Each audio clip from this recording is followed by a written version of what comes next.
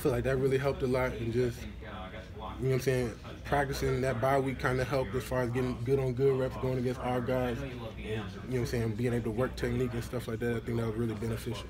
Could you tell you were making him uncomfortable? I mean, even when you guys didn't hit him, he were constantly making him move, and you guys did hit him, and you sacked yeah. him a lot. Could you tell him tell him he's uncomfortable in the pocket?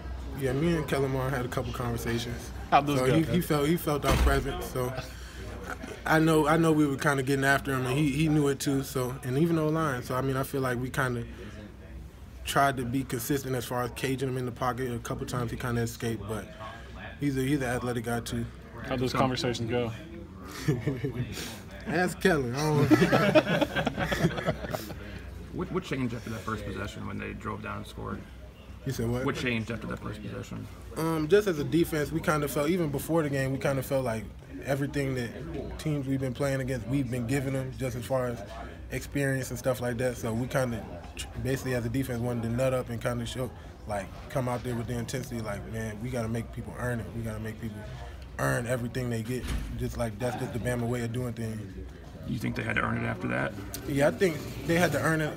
Definitely after that, we kind of were inconsistent at times, but definitely, you know what I'm saying, stepped up as a defense as far as responsibility wise. Did they do stuff that you weren't expecting in that first drive? No, nah, they didn't do anything unexpected. It's just more so effect.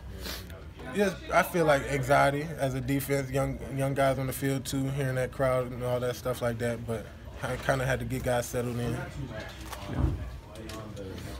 I know you're probably already asked about it, but how'd you feel the pass rush today? Um, I feel like we did a pretty good job. Still a little inconsistent at times, just as far as letting them escape the pocket. But I mean, we we aim for a perfect game. Not always gonna be perfect, but I mean, Kellen Mond's a good athlete too. So. How do you think you did? Did you feel a little bit better out there, maybe more healthy? Y'all gonna push that health button for, for the whole year, huh? I felt good. I mean, I just felt like, as far as me being out there, like I said earlier, I felt like it wasn't a matter of health or none of that or practice stuff like that. I just feel like it was more so being in there on a consistent basis, getting me a feel for the game instead of you know I'm saying us alternating. It felt like we did a really good job of playing consistent, and they had to play to the strengths of our defense as far as me and Anfernee being on the same on the field at the same time, Raekwon on the field at the same time, DJ Dale, guys like that. So I feel like it really stressed their offensive line out having all that, all those guys on the field at the same time. Were you at least tired? Just when you were doing a lot of running around out there. Were you, you gassed at any point?